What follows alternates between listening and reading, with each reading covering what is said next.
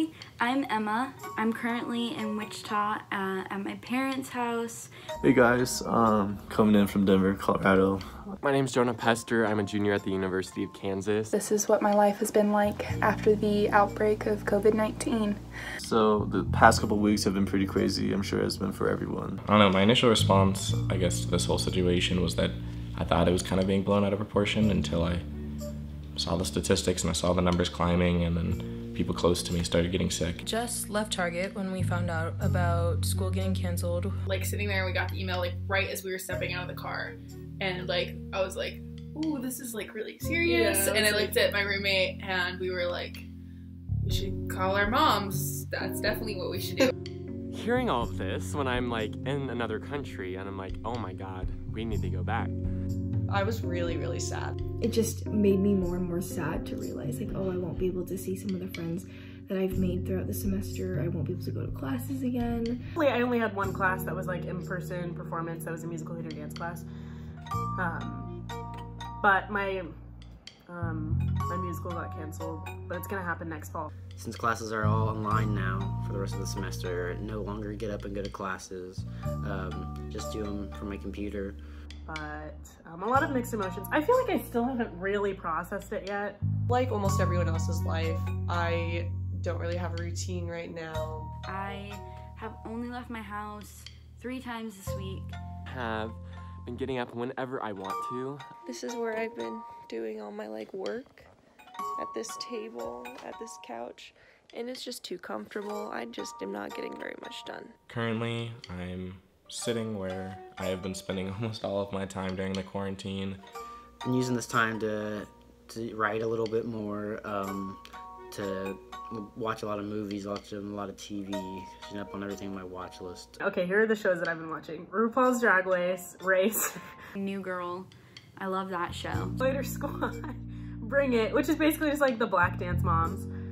I watched Love is Blind and I used Netflix Party to watch that and it was super fun and exciting and it like brought back memories of like middle school when you're like in chat rooms with your friends. Today was a gorgeous day, so I went for a run, socially distanced. Hey, good morning. Um, I decided I'm gonna make some healthier habits. i'll cook i've tried baking Just trying to give myself little tasks every day to do. So even if they're as small as wash your dishes or do your laundry, i made pasta i made macarons i made cookies I've been reading a lot. These are my favorite books in the whole world. And we actually plan to shoot a short film in our house. Um, I just ordered this embroidery kit to do. I've been learning TikTok dances. Gaming all the time with my friends from middle school, high school, like kindergarten, we're all back. So I, I got a Switch um, and I got Animal Crossing. So Playing Mount and Blade Bannerlord is coming out on the 30th. I've spent my time honestly just reading and doing word searches. Um, unfortunately, I got laid off.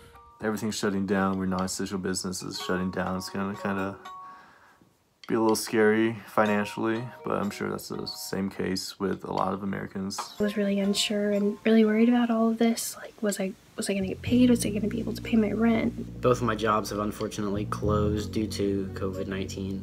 I can't work at the gym anymore. Um, all of us are basically unemployed for an unforeseeable amount of time, which is super sad. So mental health has been a big thing that I've noticed deteriorating in a lot of my friends. And so I've noticed it's really important to be there for each other right now. But I'm glad that people are taking the steps to try and contain this as best as they can. we should all just stay inside, play Animal Crossing, embroider, do some crafts. Figuring out this scary time is going to be a wild ride for a lot of us, especially those of us that were supposed to graduate in May. I think it's just kind of tough to sacrifice those like special occasions, especially like during a national quarantine. But I mean, rather save the world, right? So